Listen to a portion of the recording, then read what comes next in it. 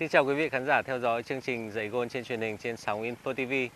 Chúng ta trở lại với sân FLC Golf Links Sầm Sơn và chúng tôi đang đứng ở hố gôn số 1. À, ờ, đây là một hố 34 tương đối dài, tuy nhiên thì à, nguy hiểm nó nằm ở chỗ khác. Như Thu có thể nhìn thấy ở bên trái là có cọc OB và bên phải là cọc đỏ bẫy nước và chắc chắn rằng green cũng đang được bảo vệ bởi một à, bẫy nước nằm ngang. Dạ vâng, xin chào anh. Một buổi sáng dù rất sớm nhưng mà đã nắng rất lớn như thế này rồi thì chắc chắn là báo hiệu một hố gôn sẽ đầy thử thách và sẽ có nhiều điều thú vị sẽ xảy ra. Vâng, và chúng ta cùng theo dõi xem có thể giúp gì Thu trong hố gôn này. Dạ vâng, xin mời tất cả quý vị cùng đón xem.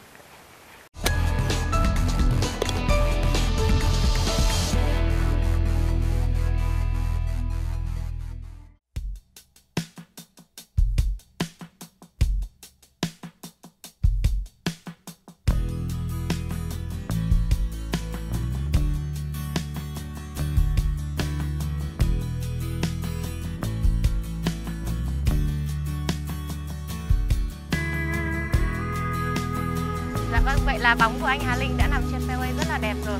Hiện giờ chúng ta đang đứng trên tee đỏ với khoảng cách là 333 yard tính từ đây đến cờ.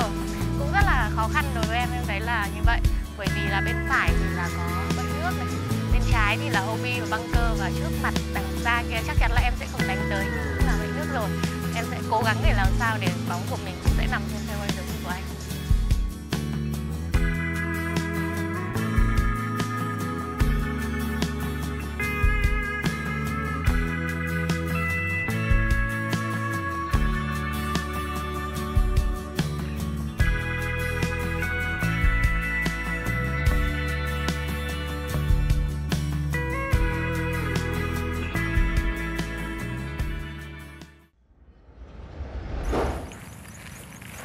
Đúng rồi.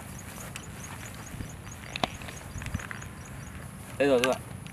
Ôi anh ơi, thế này thì làm sao em đánh được bây giờ ạ? Em có thể thử cứu là nếu như em cảm thấy tự tin. em nghĩ là em sẽ không cứu được ở chỗ này bởi vì là thứ nhất là thấy đứng rất là khó và thứ hai nó lại vướng rất là nhiều cây xung quanh như này em sợ là nếu em có đánh thì nó vẫn nguyên vị trí đấy và tự nào Ok. trong tình huống như này thì mình sẽ phải xử lý như nào anh Việc đầu tiên mình phần cần phải để ý là xem là quả bóng của mình nó đang nằm ở cái phần nào của sân. Dạ. Đúng không? Thì Thu nhìn thấy là bóng của em đang nằm ở trong cái phần được đánh dấu bởi cọc đỏ này. Dạ. Từ đây đến kia, chắc là vòng tít lên trên kia nữa. em được biết thì cái phần đánh dấu là cọc đỏ này thì được tính là bẫy nước mặt bên đúng không Ừ, không phải 100% là luôn luôn bẫy nước là luôn luôn có nước thế nhưng mà đây vẫn gọi là bẫy nước. Dạ. Vậy nếu mà em không sẵn sàng để cứu quả bóng này thì chúng ta sẽ có một số quy trình chúng ta có thể làm để giải thoát và tất nhiên là em sẽ phải chịu phạt một gậy. Dạ. Vậy khi bóng của chúng ta nằm ở trong bẫy nước mặt bên được đánh dấu bởi cọc đỏ thì quy trình giải thoát của chúng ta sẽ như thế nào? Việc đầu tiên chúng ta cần xác định là cái điểm bóng cắt với cả cái đường ranh giới của bẫy nước. Em có xác định được nó ở đâu không?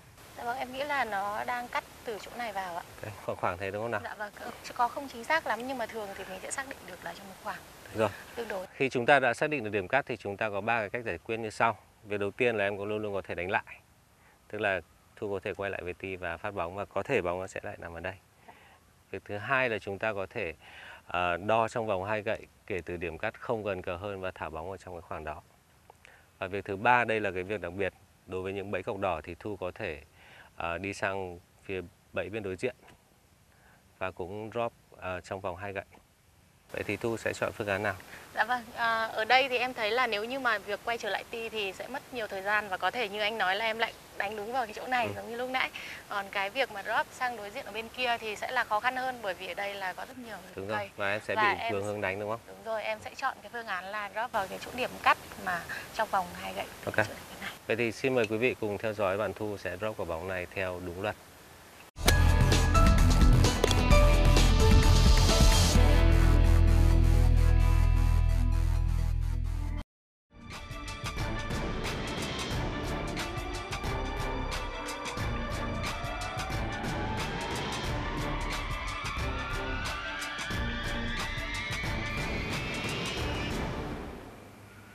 Vâng và hy vọng quý vị đã vừa theo dõi À, cái quy trình thả bóng của bạn Thu vừa rồi thì việc đầu tiên là chúng ta cần phải xác định được điểm cắt này.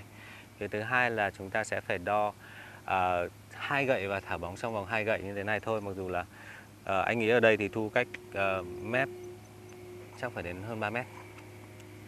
Có thể hơn đúng không? Dạ vâng, có thể. Ừ. Mặc dù là fairway thì rất tốt thế nhưng mà khi mà chúng ta đã về ở trong bẫy thì có thể là khi chúng ta drop thì nó sẽ không nằm ở trên fairway nữa. Ok, thì à, anh sẽ cùng Thu làm lại nhé. Ờ, điểm cách của chúng ta là kia đúng không?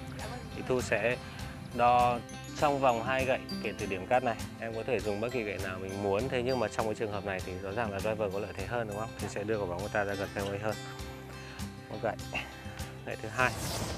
Và tốt nhất là trong túi của chúng ta thì nên luôn luôn có hai cái ti thì chúng ta sẽ xác định được cái khoảng thả để nó dễ dàng hơn rất nhiều. Rồi, thế là xong cái quá trình đo. Được uh, tiếp theo thì em sẽ đứng hướng cơ thể ra đằng trước này, tay để trước ngực này. Lúc nãy là mình đang để ngang này đúng không? Thì không không không hay lắm. Để đây và thả xuống thôi. Dạ vâng. Thì mời. Vậy thì trong khoảng cách hai gậy em sẽ để tay trước ngực của mình và có thể thả bóng của Ừ, mình. em có thể tiến lên một chút cũng được, không cần phải an toàn quá.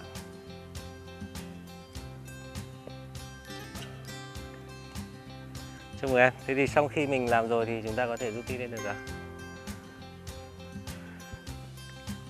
Và thực hiện cú đánh tiếp theo. Với vị trí này thì bóng của em sẽ còn cách cờ khoảng hơn 200 yard nữa. Chắc chắn là em sẽ phải sử dụng đến à, hai gậy nữa để mới có thể đưa bóng mình đến green được. Ừ. Thế thì trước tiên là em sẽ sử dụng cây gậy số 6 sắt của mình để cố gắng là đưa bóng của mình đi xa nhất có thể. Ok.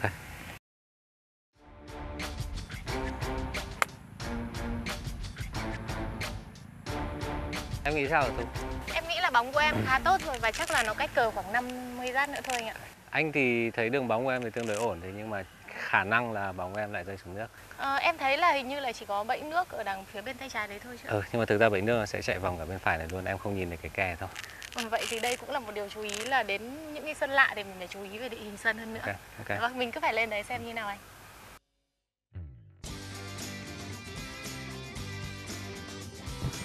Chúng ta đang gần đến xuống nước và hãy thử tìm xem là bóng của bạn sẽ đến đâu rồi.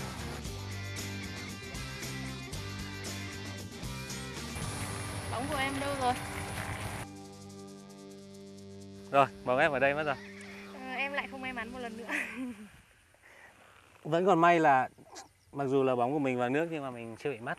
Dạ vâng, Ừ. Thì chúng ta sẽ tiết kiệm được à, một quả bóng. Với cái trường hợp mà bóng rơi vào nước à, như thế này thì à, Thu có cách giải quyết gì không? Mình sẽ vẫn sử dụng cái cách là như anh đã chỉ ở bẫy nước cọc đỏ là mình sẽ thả trong cái khoảng cách mà hai gậy. Ừ. Nếu mà nó là cọc đỏ thì người ta đã không đánh dấu là cọc vàng đúng không nào? Dạ vâng. Như vậy thì có sự khác biệt gì không ạ? Vâng thưa quý vị, bẫy nước bật ngang được đánh dấu bởi cọc vàng à, có bị hạn chế hơn về cái cách giải thoát. À, như bẫy nước cọc đỏ thì chúng ta có ba cách giải thoát đúng không? Thì ở bẫy nước cọc vàng chúng ta chỉ có hai cách thôi. Một là đánh lại hoặc là cách thứ hai là chúng ta sẽ vẫn xác định điểm cắt này. Chúng ta sẽ dắt dòng điểm cắt đến cờ này và sau đó em sẽ được thả lùi vô tận. Ok. Thì à, trong trường hợp này thì anh sẽ cần thu làm nhé. Điểm cắt của em ở đâu em có thể đánh dấu vào này.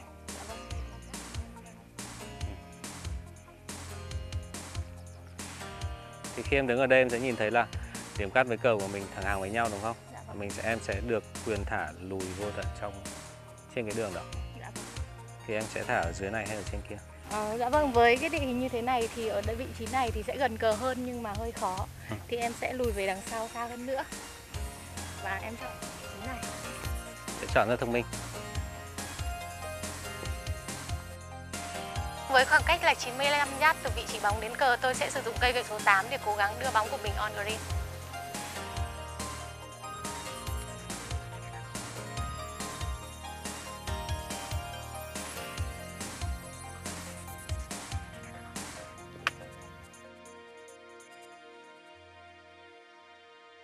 Dạ vâng, vậy là dù là chỉ trong một hố gôn thôi nhưng mà tôi đã hai lần rơi bóng của mình vào bẫy nước, cả bẫy nước mặt bên và bẫy nước mặt trước. À, nhưng may mắn là tôi vẫn không để mất quả bóng nào của mình cả. Và may mắn hơn cả là trong ngày hôm nay thì tôi đã có cơ hội để học hỏi về luật thả bóng cho bẫy nước mặt trước và bẫy nước mặt bên. Cảm ơn anh Hà Linh rất là nhiều. Vâng và tôi hy vọng rằng quý vị khán giả cũng sẽ à, áp dụng những cái quy trình này và chúng ta sẽ cố gắng là chơi đúng luật nhất có thể khi mình ở trên sân gôn. Vâng, tôi hy vọng rằng Hoài Thu và quý vị khán giả đã nắm rõ được cái cách chúng ta giải thoát khi bóng nằm trong bể nước và chắc chắn rằng cuộc chơi của chúng ta sẽ thú vị và vui hơn rất nhiều khi chúng ta làm đúng luật. Và chúng ta sẽ quay trở lại với FLC Big Golf Resort vào những chương trình tiếp theo. Xin chào và hẹn gặp lại.